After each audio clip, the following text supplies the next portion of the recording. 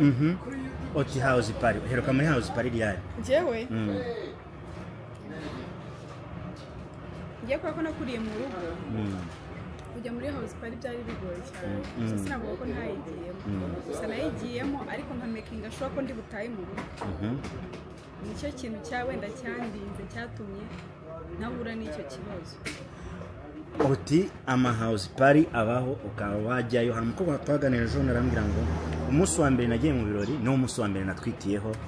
Ndasinda sinamenye n'uwandongoye uwo ari we. Ati uwo mwana mfite nta ati se naje kumumenya nyuma? Atarabimbwiye atari ko nawe ni umuntu nkawe wafeke fe kutereya Mhm. ubwo umwana ishyire mu cyimbo cy'uwo mukobwa. Umwana ari uwawe. Nkaja muri icyo ukamubwira ngo iki? Nicara nkabwira umwana wawe. Mm. Of course igihe cyose umwana yumva umubyeyi Mhm. sibyo? Ariko umubyeyi we ahorana ipfunwe. Mm. umwana ashobora kumubaza ati se papa wanjye ninde cyangwa akanumva n'izo sitori hanze z'ukuntu mama we yamusamye bikaba byamubabaza. Ariko nkeka ko urukundo ruri hagati y'umubyeyi w'umu- w'umumama n'umwana Mm. rudashobora kwangiza umubano wabo bitewe ni- n'icyo kibazo. Mm. ariko nanone umwana ntazagera kugira ikibazo ku mutima. Nubwo atacyereka mama we ariko aba agifite kandi kimugiraho n'ingaruka z'ubuzima. Like ku- kumva ko atameze nk'abandi Mhm. eh, atakuze nk'abandi. Ikindi n'umwana ukuze atari kumwe na papa Mm. ni ukuri ntabwo aba ari sawa. Ifate wishyire mu cyimbo cy'umwana wavutse gutyo. Ese nk'umubyeyi uzamuganiriza umubwira utaraba arakuramo inda? Nanze kugukuramo ariko byagenze gutya. Introduction wakorera uwo mwana umubwira situation y'ubuzima bwe. Icyiza. Mm. icyiza numva yamubwiza. Ukuri Mhm. Kuko umubyeyi urumva niba yarabyaye uwo mwana akabona izo ngaruka zose ibyo ari byo byose yarahindutse. Mhm. Ya- yabonye ingaruka zo kuba nta nubwo yifuza ko umwana we ariko akura Mm. ubwo rero birumvikana ko yicaye akamubwiza ukambwira ati byagenze gutya byanafasha umwana. Mm. akumva ko mama we nyine ntacyo amuhisha nta n'icyo amukiye kuko iyo akuze akabimenya bigira ingaruka cyane. Hamaze iminsi ari gufungwa insengero kamere nk'udeveye gato. Ariko utubari tukiyongera two nta nta kondisiyo Eh. nta ngaruka ubibonamo kuba Eh? ni iminsi y'imperuka njye numva ko Mm. koko niba leta ari ari byo iri kubona bitubereye Mm. niba ari byo ibona bitubereye nyine ikaba ibona hari ikintu insengero zahindura ku mutekano w'abaturage njye numva nta kibazo mbifiteho Mm. ariko niba babona ko utubari utwo tubari nawe two niba turi gufungura mu by'ukuri tutujuje ibisabwa. Mm. mu bisabwa leta idusaba. Mm. na byo leta izabigeramo kandi natwe izadufunga Mm. niba wujuje ibisabwa urakora. Niba utujuje ibisabwa nari nzi ngo tugiye kwikora bizinesi y'akabari njye nawe. Hano i karongi. Twagakora ariko twujuje ibisabwa. Tugarukire kuri topiki yacu. Uti umwana wavutse kuriya akora kuriya. Ese ubundi. Iriya minsi igihumbi ku mwana ubona ari iyihe mpamvu iri gutuma abana b'abakobwa muri iyi minsi abenshi bari kubyarira iwabo. Ntabwo bari kubyarira iwabo bitewe n'impamvu imwe. Kuko ngewe Mm. nanjye mfite umwana okay. nawe urabyaye. Eh, ariko ngewe na papa we twarakundana Mm. ntabwo bivuze ko. Mwari mumaranye imyaka ingahe? Eh, umwaka umwe. Eh. Kandi numva nta kubera ko akunda umwana we numva ntacyo bitwaye mwari mwabiteguye mwabanje kubijyana no ntabwo muravuga cyo kubyara muri situwasiyo ya muri make byakugendekeye ute Eh, naramukundaga n'ubu ndamukunda cyane nkeka ko nawe nkunda kandi akunda n'umwana ubwo rero abantu bakundana ni ibintu bibaho nawe urabizi. Imana yaduhaye umugisha w'umwana kandi ntabwo twari kumwana Mm. none se boyfriend a girlfriend means kuryamana? No. Mm. ariko Mm. igihe byabaye why not?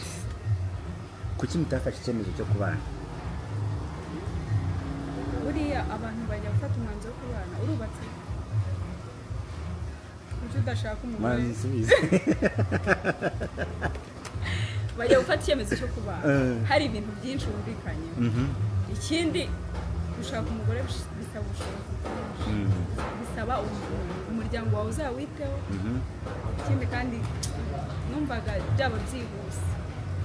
Guhita nihutira nyine kuba nabana nawe gusa uko bimeze njye biranyura ntacyo. Mbere umukobwa yabyariraga iwabo akaba nk'igicibwa kumva afite n'isoni. Kugenda akaba atashobora kunyura muri sosiyete atwite.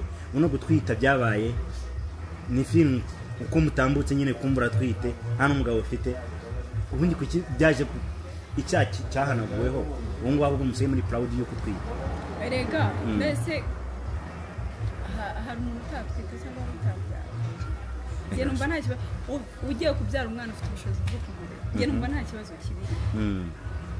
Ibyo rero bindi bibanziriza ngo mariage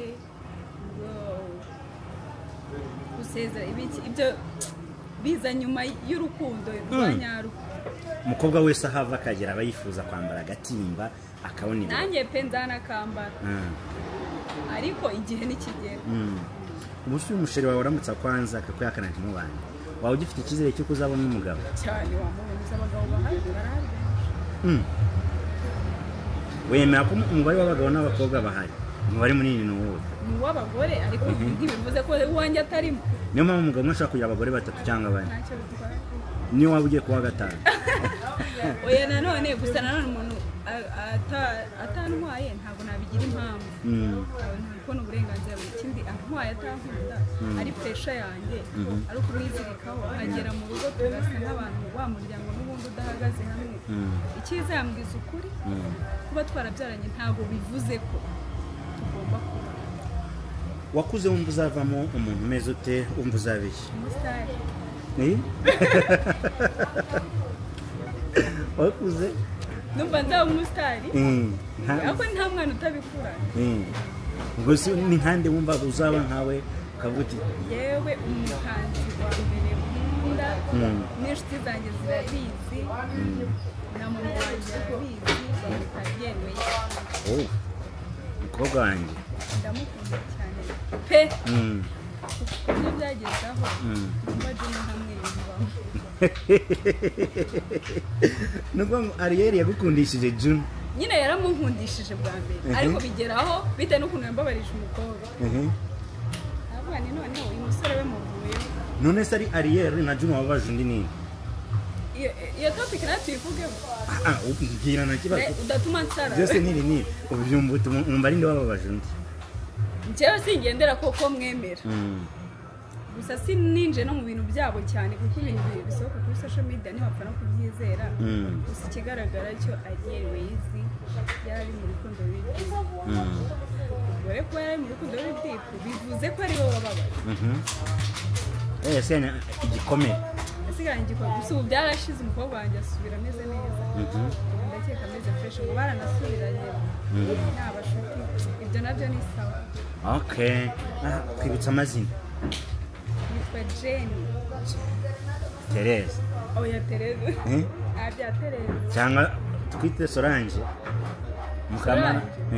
Solange? Hari undi mwana dukorana ni uwuhe naze kuri kamera mu okay ndashaka ko umbwira. U rwanda dufite uturere tungahe? Turi kubona ku musozi. Eh? mirongo itatu. Mirongo itatu. Ah, ni ikihe gihugu kiri mu majyaruguru y'u rwanda ku mupaka? Mu majyaruguru? Mm. majyaruguru.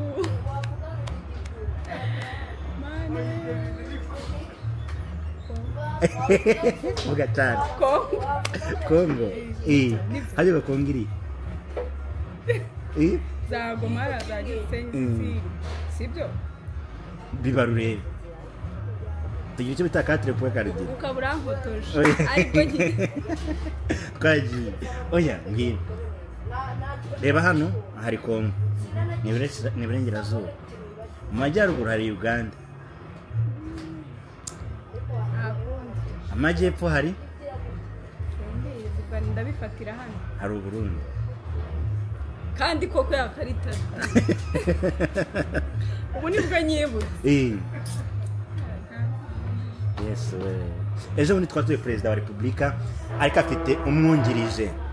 Minisitiri w'intebe y'igihugu prime minister. Mu rwanda bamwita cyo cyonyine ugisubiza hariya bakumanurira akantu muri kontwari Hmm? gerageza. Ndasebye meya Eh? ntawe nzi. ngo ngwiki? Muzi isura ariko sinabwo nzi izina. Katwigisha abantu. Umuntu agira ibyumvo bitanu. Ni ibihe n'ibihe ibyumva bitanu. Cents. Mhm. cya mbere? Ibyuma by'umubiri. Mhm. iby'umutima. Twagiye icya mbere. Iby'umutima? Oya.